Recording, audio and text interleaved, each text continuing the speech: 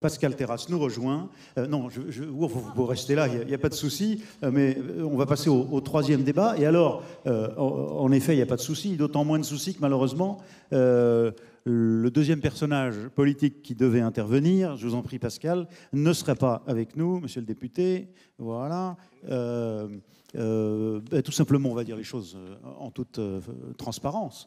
la politique, on a de la chance finalement que votre candidat, euh, vous nous direz qui c'est, euh, vos primaires, vous êtes au Parti Socialiste, vous êtes de gauche, n'est pas commencé, parce qu'en l'occurrence, Arnaud Robinet, qui pourtant est praticien hospitalier, qui connaît à fond ces, deux, ces sujets que nous avons rencontrés, a été appelé il y a quelques heures, enfin avant notre réunion, pour accompagner celui qui est son candidat à la primaire de droite à Chalon en Champagne, où était hier euh, le vote, si j'ai bien compris, Emmanuel Macron, euh, pour cette réunion. Et quand on est élu euh, et qu'on est sur son territoire et qu'on reçoit celui qui est son candidat, Bruno Le Maire en l'occurrence, eh bien c'est difficile de ne pas y être. Et donc on a tout fait vous dis tout, hein, à Macquevy, l'équipe de la NAP a tout fait pour qu'on arrive à maintenir ce débat avec notamment éventuellement un Skype. Ça n'a pas collé. Euh, voilà, bon, c'est la vie politique. Alors vous, vous avez accepté d'être là. Je rappelle que vous êtes député de l'Ardèche, que vous avez euh, euh, suivi toute une série de, projets de, loi du gouvernement, évidemment la loi santé. Vous avez mis, réalisé ce rapport sur la protection sociale, sur la façon dont on va pouvoir la, la financer dans les années qui viennent. Et évidemment, on est au cœur de notre sujet parce que s'il n'y a plus de financement de la protection sociale, il n'y a plus de financement, de en tout cas moins efficace de la, sécurité sociale. Et on est au cœur du débat que nous avions à l'instant. Euh, vous êtes vous-même ancien directeur de, maison de retraite, vous êtes au cœur de, nos problématiques de ce point de vue-là. L'enjeu, c'est la campagne présidentielle, c'est 2017, c'est le débat politique que nous avons aujourd'hui. Et très sincèrement, on commence pas bien, c'est-à-dire que la sécurité, bien entendu, l'emploi sont au cœur de nos des débats poussé par les médias, mais pas la santé. Euh, dans les programmes, il y a quelques éléments. Dans les programmes des candidats aux primaires de droite, par exemple, euh, on voit, on a vu apparaître quelques chapitres, mais on a l'impression que c'est vraiment par acquis de conscience. Alors, je ne veux pas vous interroger sur, sur ce bord-là de, notre échiquier politique. Mais même à gauche, on a l'impression que ça y est, c'est fini, le bilan est tel qu'après euh, euh, la loi Touraine, la loi santé, les GHT, bon, aujourd'hui, il n'y a plus vraiment de soucis. C'est-à-dire que c'est plus un enjeu pour, les, pour les Français dans les, dans les mois et les années qui viennent Bon, euh, la, santé, euh, en réalité, n'a jamais été euh, dans le débat politique lorsqu'il y a une élection majeure, et je pense en, l'occurrence à, l'élection présidentielle, un sujet qui a fait partie des priorités, bien que nous savons que les Français, lorsqu'il y a des enquêtes d'opinion, mettent les questions de santé comme étant prioritaires. Pourquoi? Tout simplement parce qu'il y a un relatif consensus sur la santé. Euh, en tout cas un, consensus sur l'objectif. Soigner, on en a parlé, moi j'ai écouté les uns et les autres. Euh, Jean-Loup, que je connais bien, un libéral absolu. Euh, un libéral absolu. quand je l'écoute, je suis évidemment d'accord avec lui. L'objectif, on veut tous euh, vieillir et en bonne santé. D'ailleurs, en début d'année, la première chose que l'on se souhaite, c'est bonne santé.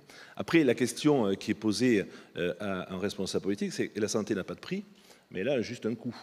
Et, au fond, quand on parle d'autres questions, terrorisme, sécurité, travail, tout ça est en lien avec la politique de santé. Parce qu'on sait très bien que si on veut avoir une politique de l'emploi, euh, il faut que l'on soit aujourd'hui euh, compétitif sur la scène internationale. Parce qu'on sait que nos croissances externes, on va les faire dans notre capacité à pouvoir exporter euh, des produits. Et on sait que le poids des cotisations sociales, inévitablement, a des conséquences sur notre compétitivité. Or, on sait que les cotisations sociales, accessoirement, ça finance 50% de la charge liée à la santé. Donc tout ça, sont des questions qui sont inévitablement imbriquées. Est-ce que vous êtes en train de nous dire que, à la différence des États-Unis, il n'y a pas de clivage profond dans l'opinion publique française sur au moins le, le, le, système de santé lui-même et, son organisation. C'est-à-dire que, euh, en tout cas, l'objectif de la solidarité et de l'existence de, la caisse commune qu'est la, la,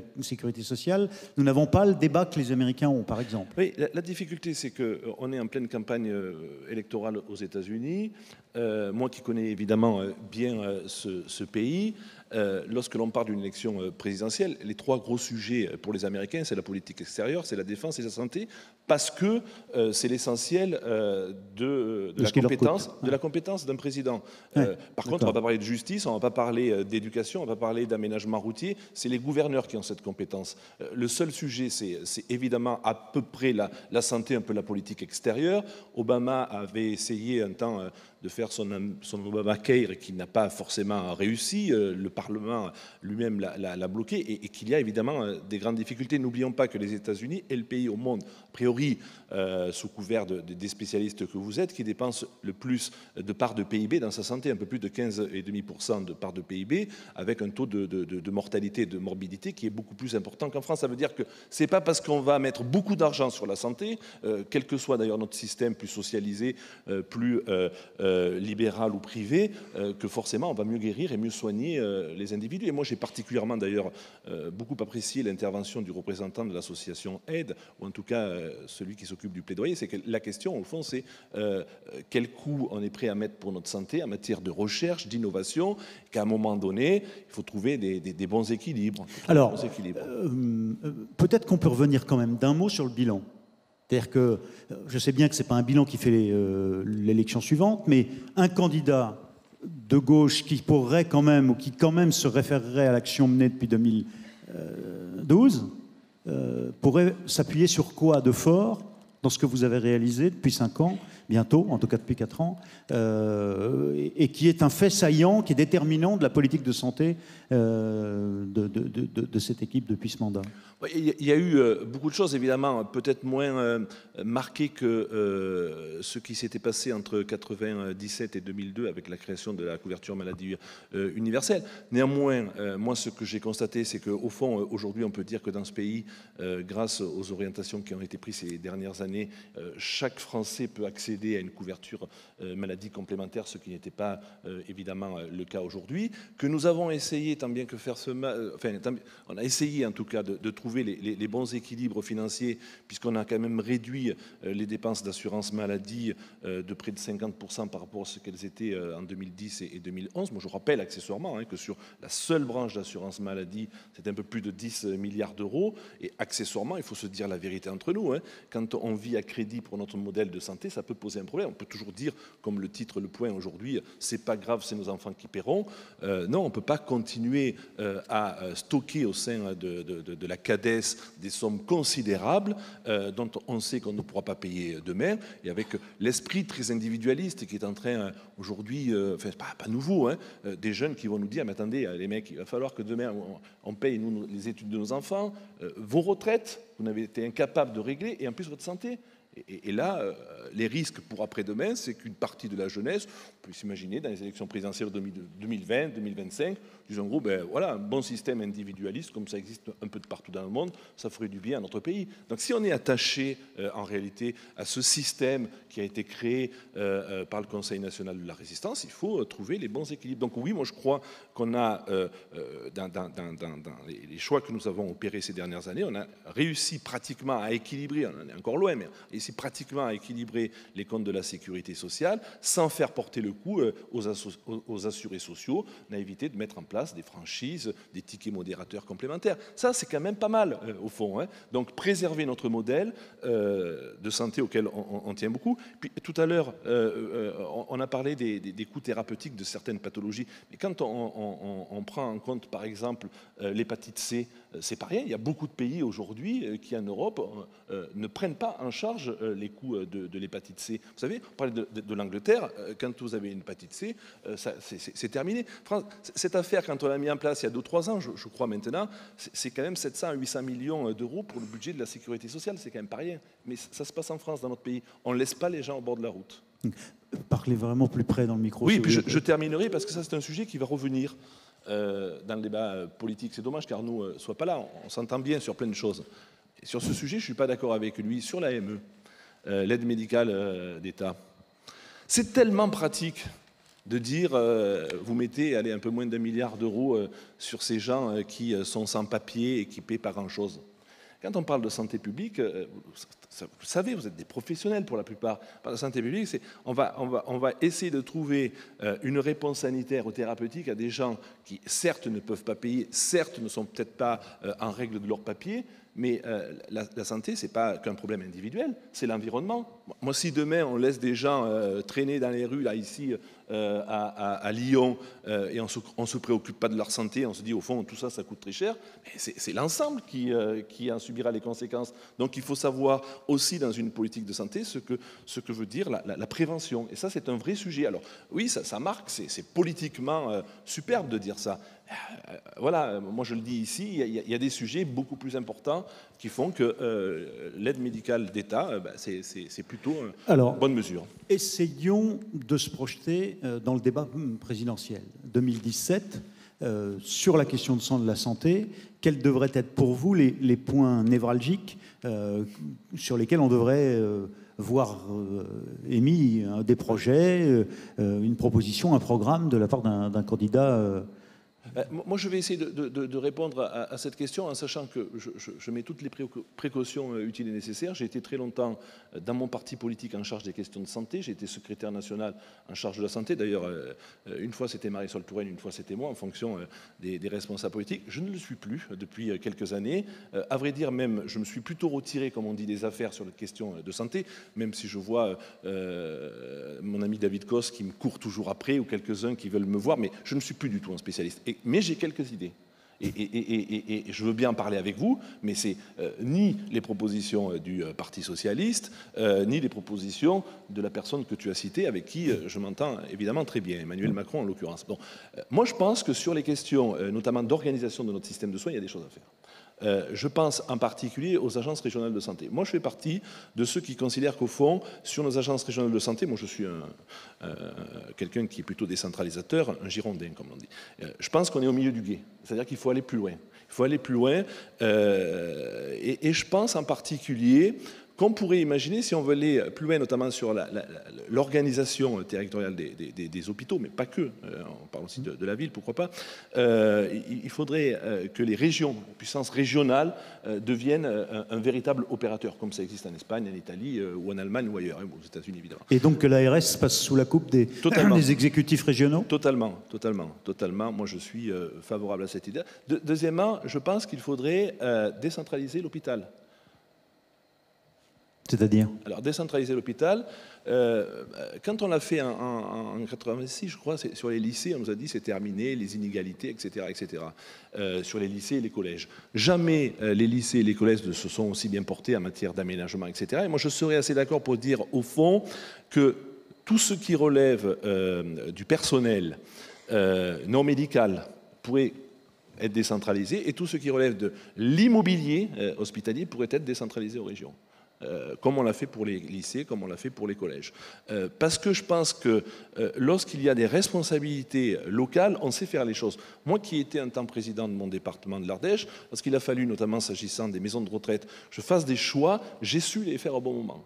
Euh, et or, aujourd'hui, la difficulté, c'est que, ça a été dit euh, tout au long de, vos ateliers, la sécurité sociale est une chose, l'État est autre chose. Et que quand vous voulez faire une réforme, notamment hospitalière sur un territoire, si euh, vous dites en gros, voilà, on va fermer un hôpital, on ferme un service, et qu'on n'a rien en, contrepartie à donner, parce que la sécurité sociale, elle s'occupe de santé, pas d'aménagement du territoire, sauf preuve du contraire, si on n'a rien en contrepartie à donner, ça ne peut pas marcher. Et là, vous avez des montées au créneau d'élus qui ne comprennent pas et qui disent en gros, mais attendez, mon hôpital, j'y tiens beaucoup, c'est des infirmières, c'est des aides-soignantes, vous allez me le fermer, etc.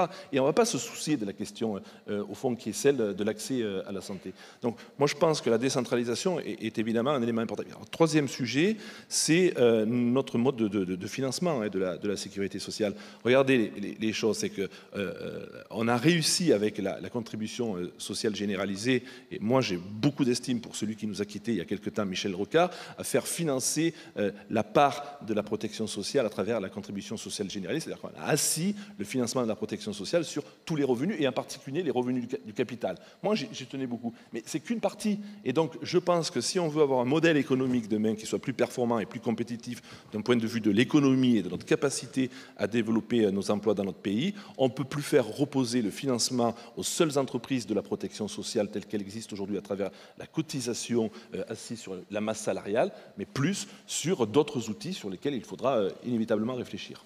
En, matière de proximité, alors dans un contexte où on évoquait tout à l'heure euh, les difficultés de gestion du personnel médical, d'avoir une gestion prévisionnelle, pas uniquement d'ailleurs dans les établissements publics ou privés, mais aussi tout simplement pour l'installation de médecins de ville. Euh, comment faire là encore? Est-ce qu'on peut, est-ce qu'il y a des débats euh, amenés sur euh, l'incitation des médecins hein, C'est compliqué parce que à la fois, là aussi je suis pas un expert, mais j'ai fait comprendre que jamais la France n'avait produit autant de, médecins. C'est-à-dire que, en gros, je crois que c'est 56 000 aujourd'hui médecins qui peuvent être en activité, mais en réalité ils sont pas forcément dans le champ de l'activité qui devrait être la leur.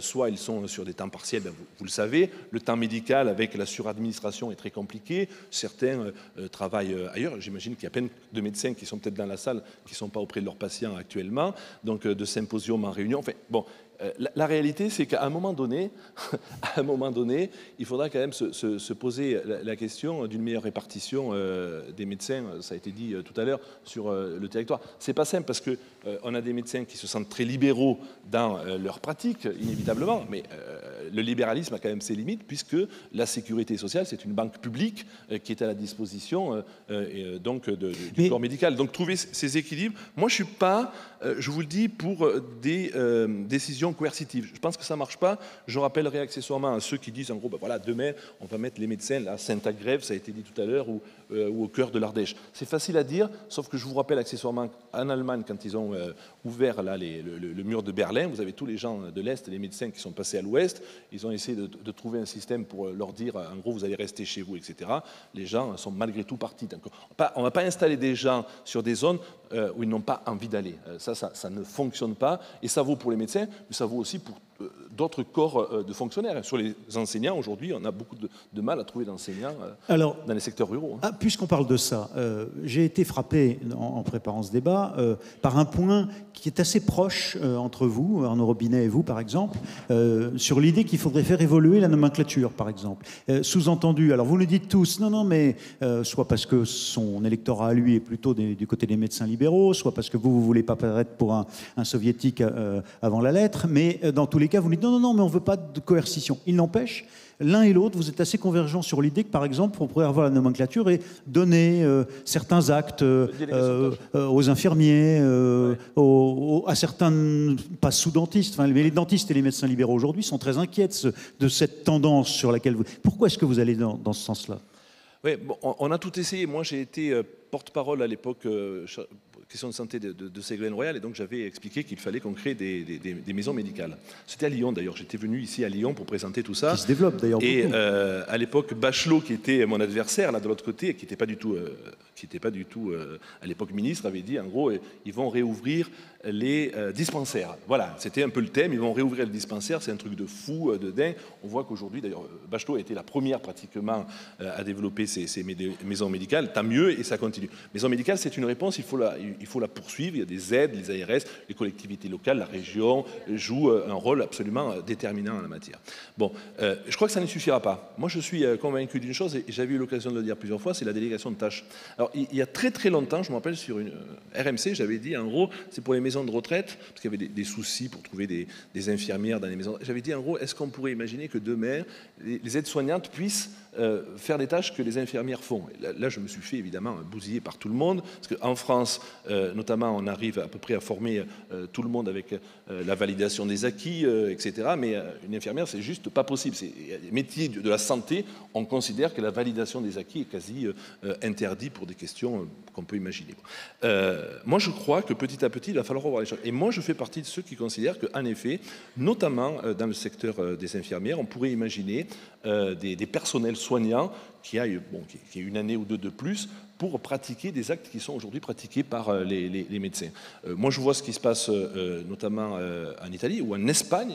Vous avez des infirmières aujourd'hui qui rendent des services absolument considérables. Mais quand on dit ça, là, on est à peu près sûr de se faire descendre par à peu près tous les syndicats médicaux de, France et de Navarre. Donc c'est très difficile. Mais moi, je, le dis, moi je pense qu'en effet, sur des délégations de tâches, c'est possible. On peut petit à petit remonter le niveau de qualification des uns et des autres, parce que sinon, on n'y arrivera pas. Parce que sinon, on n'y arrivera pas. Qu'à un moment donné, on aura un blocage. Alors, on peut toujours euh, euh, se dire, euh, voilà, on garder un horizon formidable, des mots qui sont très jolis, etc. Mais à la fin, on aura de véritables déserts médicaux. C'est ça la réalité. Et quand je dis on aura, on les aura. Ah oui, bien sûr, bien sûr. Ah bah ça va avec, bien sûr. La question, c'était tu les revalorises, pour ceux qui n'auraient pas entendu, parce que vous n'aviez pas le micro. Alors, je voudrais qu'on revienne sur les questions euh, précédentes. Euh, privilégier les questions courtes, nous dit l'équipe de, de, la NAP qui reçoit vos questions SMS. Alors, est-ce que vous, vous, voulez bien revenir sur les questions précédentes qu'on veut y passer Parce que je voudrais les, les proposer euh, à Pascal Terrasse. Euh, monsieur le député, quelle place pour les citoyens dans la décision des choix de politique de santé? Alors c'est un des enjeux de, ces universités à la NAP depuis l'an dernier, mais cette année en particulier. Oui, je pense que la, démocratie sanitaire, c'est un, véritable enjeu qui ne marche pas hein, en réalité. Franchement, on a quelques associations qui font euh, du boulot extraordinaire, ça a été dit. Moi, je rencontre au sein du, du CIS et autres qui font un travail extraordinaire. Notamment, on a parlé à la Ligue. Enfin, on voit quelques grandes associations qui sont euh, fortes le 6 Auvergne-Rhône-Alpes était de ceux qui nous accueillent. Oui, oui, mais je, les connais. Hein. Moi, j'ai été très pote avec Saoud pendant longtemps. On était en débat. Euh, voilà. Bon, euh, je ne sais même pas si c'est encore lui, d'ailleurs, le président euh, national. Ça a changé. Donc, bon, voilà. comme je vous dis, je ne suis, plus, je suis plus trop ces, dossiers. Oui, moi, je pense que la, démocratie sanitaire est, évidemment très importante. Qu'est-ce que je constate? Moi, j'ai siégé quelque temps ici au sein de l'ARS avec Véronique Vallon et, les autres qui étaient avant. Euh, les représentants, euh, très souvent ou trop souvent, les représentants euh, des associations de, malades en particulier, sont très proches du corps médical. Euh, moi, je souhaiterais que demain, justement, on ait vraiment des associations qui soient, non pas éloignées du corps médical, mais qui disent les choses telles qu'elles les ressentent. Et, j'ai presque envie de dire que quelquefois, je préfère travailler, je vais me faire hurler dessus, mais c'est pas grave, avec des associations de consommateurs aujourd'hui qu'avec des associations de malades. Parce que euh, on peut se dire les choses, on peut voir comment les, choses peuvent avancer. C'est toujours le risque, c'est l'endogamie, c'est de rester dans le système. Je trouve, je trouve, je trouve, je, vous dis, euh, ces sujets, moi, je les ai abordés et on, on retrouvait un peu toujours les même. L'adjoint qui est chargé de la santé dans sa mairie, c'est toujours un professeur ou un, médecin. À l'Assemblée nationale, quand on travaille sur le PLFSS, euh, on est 20 à travailler à droite et à gauche. Il n'y a que des professionnels de santé. Euh, et donc je trouve que le débat de la santé, s'il n'est pas aujourd'hui au cœur de l'élection présidentielle, c'est parce qu'il a été capté en réalité par les professionnels de santé, par les seuls professionnels, alors que c'est un sujet majeur. Je l'ai dit tout à l'heure, chaque fois qu'il y a euh, des études sur les, attentes des Français, le premier sujet, ça reste la santé toujours. J'ai présenté, pardonne-moi, j'ai présenté au Conseil général il y a quelques semaines une enquête que nous avons faite. Je, suis même surpris. Les, deux demandes, c'est la présence médicale. Euh, et c'est les services de secours. Moi, je pensais que c'était les routes, que c'était l'éducation, la culture, le sport, plein de choses. Non, les deux, c'est services de secours, donc les pompiers, l'évacuation, euh, les urgences, mmh. et puis euh, les questions de santé. Ils les mettent d'ailleurs au même niveau. Alors, je, en vrac, ces questions qui viennent et qui sont importantes, euh, vous, tu as répondu en effet à la dernière, mais faut-il donner un statut privé non lucratif aux hôpitaux publics pour plus d'efficacité et de responsabilité? Et puis, êtes-vous favorable à la TVA sociale? Alors, euh, question sur euh, l'autonomie des hôpitaux. Oui, moi, je, fais absolument confiance. Alors, l'autonomie, l'autonomie sur partout. Moi, je, suis vraiment, je vous l'ai dit, je suis un Girondin, et plus la décision se prend euh, au plus près des, citoyens, mieux ça fonctionne. Moi, je vois à quel point, d'ailleurs, mes collègues directeurs d'hôpitaux, d'établissements médico-sociaux, aujourd'hui publics ou privés, sont vraiment des, des, hommes et des femmes très compétents, très formés. Ils, font tout. Et, donc, moi, j'ai envie de leur donner aujourd'hui vraiment de la responsabilité. D'ailleurs, je regrette je, le dis devant Jean-Loup et, d'autres, j'ai vu à quel point ces dernières années, les regroupements euh, du secteur euh, médico-sociaux, au, fond, dans le secteur privé en particulier, ont donné de moins en moins de compétences euh, aux, directeurs en mettant en place une espèce de, gros back-office particulièrement coûteux où la décision ne se prend plus sur place, mais se prend à Paris très souvent. Moi, quand je parle avec des gens de chez Coriandre, que je parle avec un directeur, je dis, mais, dis, moi, je, moi, m'occupe pratiquement de rien, je suis un gros animateur. On en revient à, ces animateurs qui y avait dans, dans le temps. Non, il faut revenir au territoire et donner vraiment de l'autonomie à nos hôpitaux. Moi, j'y suis évidemment. sur la TVA, sociale. TVA sociale, oui. Moi, j'ai fait partie de ceux qui, là encore, c'est ce qui me distingue de mes petits collègues. J'avais écrit un article dans Le Monde avant les présidentielles pour dire qu'en effet, euh, la TVA n'avait pas d'impact sur la croissance. La preuve, c'est que l'Allemagne l'a fait, il n'y a pas eu d'impact sur sa croissance. Je, vous rappelle d'ailleurs que euh, François Hollande l'a fait aussi, hein, puisque la TVA a augmenté et qu'on n'a pas vu d'impact sur la croissance. Justement, c'est au moment où la TVA a augmenté que la croissance, peut-être sur le quinquennat, était la meilleure. Donc, il n'y a pas d'impact sur la croissance. Moi, je suis assez favorable de se dire qu'au fond, dans une société d'hyperconsommation, dans une société de la globalisation où on importe de plus en plus de produits, on pourrait imaginer qu'une part du financement de notre protection sociale soit assuré par la consommation. Il reste à, définir euh, où, comment. Il y a plusieurs taux de TVA, mais moi, je n'y suis pas opposé, en effet. Alors, quelqu'un souligne que les maisons euh, de santé en Catalogne ont permis de diviser le coût de la santé par deux. Pourquoi pas France, avec un gain potentiel Je trouve ça considérable, ce chiffre, mais enfin, voilà, il est, il est jeté là, et je respecte euh, la personne qui a écrit ça. 80 milliards par an, je sais pas, en tout cas, je suis sûr qu'il y a un gain, oui. Ça fait beaucoup. Ça fait beaucoup de médicaments. Oui, ça fait beaucoup de médicaments. C'est 4 points de PIB. Moi, je veux bien le croire sur, la seule Catagnole qui, est une région. Hein.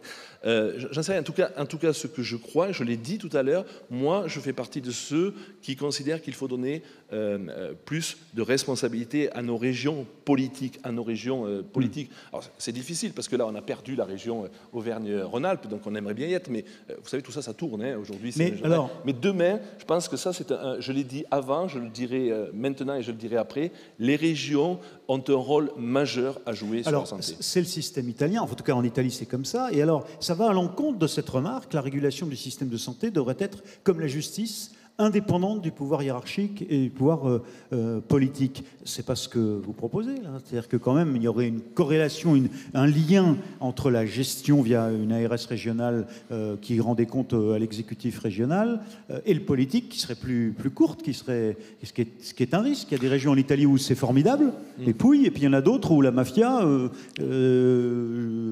gagne beaucoup à ce système-là.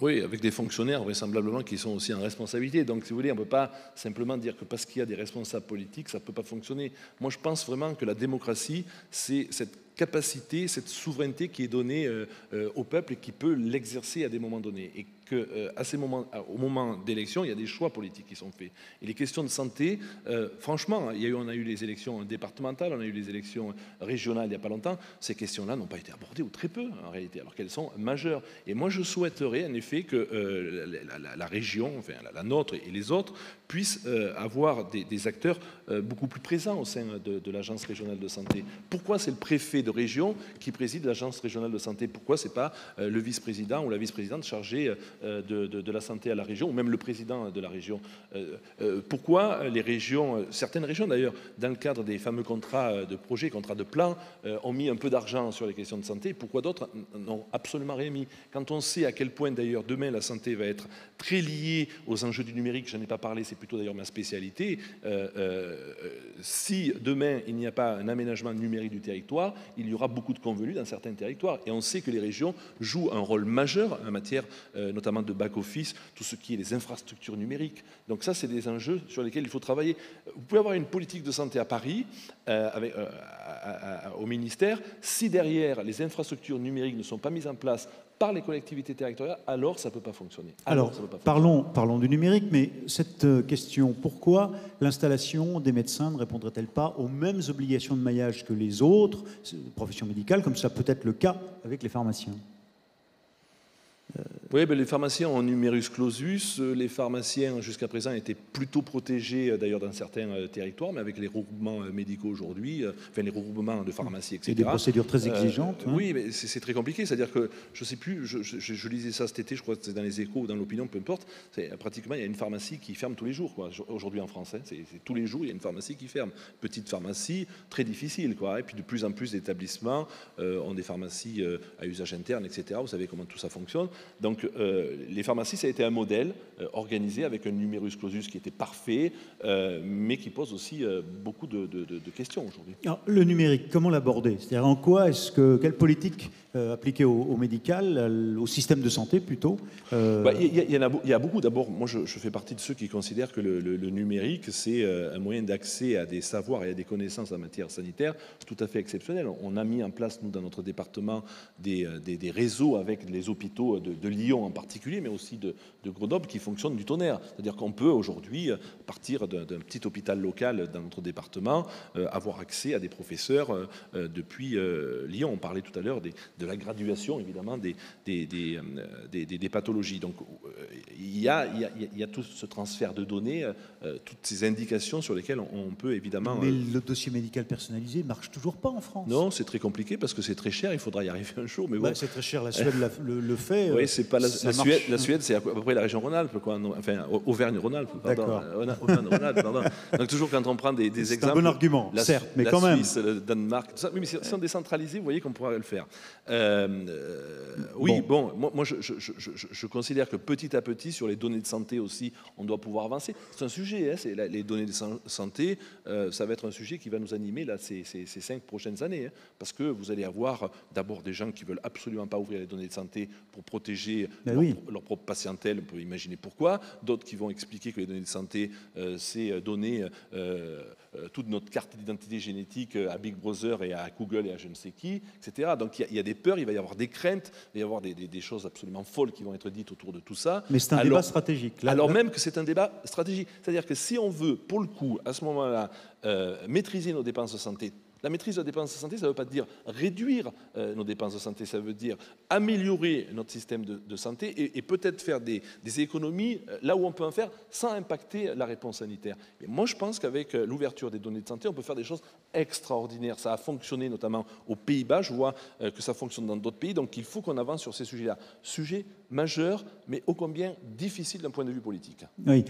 la, la convergence, là pour le coup, des conservatismes de droite et de gauche seront suffisamment suffisamment fort pour expliquer que c'est dangereux euh, pour notre démocratie. Alors vous saviez peut-être pas parce que vous êtes arrivé juste au moment où, on commençait, mais finalement euh, on a donné l'input ici puisque euh, la NAP et la TIH ont, décidé de lancer un challenge là pour qui proposera de mieux gérer encore de façon prévisionnelle les, la, réalité de, des pathologies auxquelles pourrait être confronté tel ou tel établissement, essayer d'améliorer, qui sait, avec une nouvelle méthode de, de, prévision, un, nouvel algorithme, et il y a un, prix à la clé. Voyez, pour le, donc on est dans cet esprit où on, partage des, des, données. La, médecine prédictive est un enjeu euh, majeur pour, tout le monde aujourd'hui, euh, parce qu'on voit que les grandes pathologies euh, classiques aujourd'hui ont, des réponses thérapeutiques à peu près, mais il y a de nouvelles pathologies qui interviennent.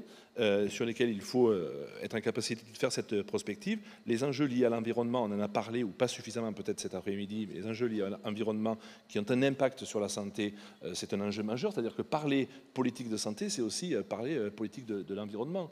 Le nombre de cancers en Afrique, moi qui connais bien ce continent, il est indéniablement plus faible qu'en Europe, et on connaît les raisons en réalité. Par contre, on trouve d'autres pathologies. Donc ça veut dire que cette capacité aussi, des réponses qu'on peut faire en matière de qualité de vie, d'environnement, c'est aussi des dépenses euh, utiles qui font qu'on réduit aussi nos dépenses de santé, ou on les maîtrise en tout cas. Oui, euh, je vois cette remarque. Le problème n'est pas d'avoir des médecins partout, mais de pouvoir accéder partout à l'offre de santé, au fond, euh, le numérique, c'est une façon aussi d'y répondre, la télémédecine ou d'autres aspects notamment. tout de même, est-ce qu'à ce stade, il y a hum, une remarque, une question, est-ce que ça suscite une intervention face à l'homme politique qui, qui, est là devant vous aujourd'hui? Est-ce que ceux qui sont encore restés avec nous, Monsieur Durousset, professeur, est-ce que quelqu'un veut? Alors, je rebondis. Il y a une question intéressante. Si on, parlait prévention, Euh, oui. parce qu'il y avait une remarque qui était, mais quand est-ce qu'on va sortir du débat exclusivement économique, du financement? Je ne sais pas qui c'est qui a posé cette question, mais qu'est-ce qu'elle est formidable. Quoi. Elle est courte et elle veut tout, veut tout dire. franchement, hein. Alors la prévention dans notre pays, euh, tout le monde en parle. C'est une espèce de tarte à la crème dont tout le monde parle. Tout le monde fait de la prévention. Hein. les conseils généraux, les communes, les entreprises, l'école. bon, tout ça n'est pas cohérent. Alors là, pour le coup, la MAP peut jouer un rôle vraiment déterminant. C'est-à-dire on peut trouver euh, les moyens comment demain on, est on puisse faire une politique de, de, prévention sanitaire, mais un peu organisée dans notre pays, parce que il y en a de partout. Euh, et puis, euh, de, deuxième sujet, là, on pourrait imaginer de se fixer, non pas euh, un objectif de type Plan, ou planification, mais c'est dire, en gros, voilà, si on, prend le budget de l'assurance maladie, un peu plus de 150 milliards d'euros, on se dit, en gros, voilà, on va mettre 2% sur la prévention, mais vraiment 2% sur la prévention. Pas, grand-chose, il y a un peu d'argent, hein, malgré tout. On pourrait faire beaucoup de choses. La difficulté, c'est que tout le monde sait dans ce pays que la prévention, il y en a un peu de partout, mal organisée, et deuxièmement, la prévention, au départ, ça coûte un peu cher. Mais euh, ça, rapporte beaucoup à la fin. Et quand on, fait, euh, quand on connaît un peu le milieu économique, la, plus-value de la richesse, c'est le risque. Et donc, il faut des fois mettre un peu d'argent au départ pour que ça rapporte ensuite. Et ça, on ne sait pas le faire dans le secteur de la santé. D'ailleurs, on a une vision très court-termiste.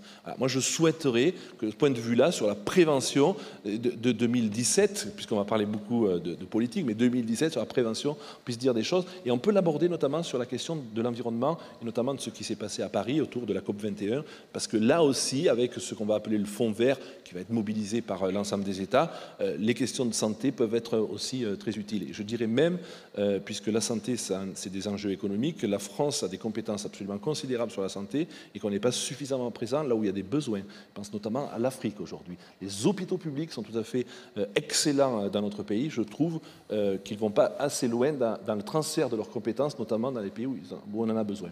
Hmm. Euh, deux dernières questions à ce moment-là. Euh, certains voient une forme de scénario noir se, profiler. Euh, la Sécu qui rembourse moins et qui, avec les complémentaires, nous emmène vers des parcours de santé très très très fléchés.